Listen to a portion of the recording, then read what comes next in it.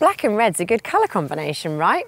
I certainly think so, and so does Volkswagen. We reckon this new Taigo crossover looks really smart in its King's Red premium metallic paint.